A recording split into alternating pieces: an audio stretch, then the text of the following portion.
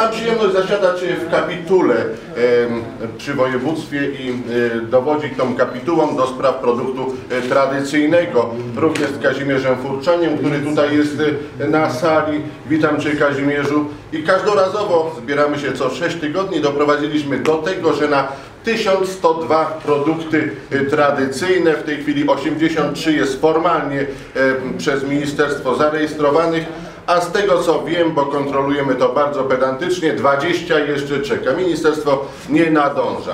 Czasami zastanawiam się, czy nie za bardzo uprościliśmy definicję produktu tradycyjnego, bo zwłaszcza Małopolska i z historii powiem, że Polska i kraje byłej Jugosławii zachowały te tradycje, fantastyczne e, tradycje smakowe, kulinarne i produktu. Może to rozdrobnienie gospodarstw e, sprawiło. Ale na 1102 produkty e, tradycyjne e, w tej chwili 83 czeka już naszych, a de facto e, 20 już jest przesłanek do ministerstwa, czyli ponad e, setka produktów e, tradycyjnych e, z Małopolski.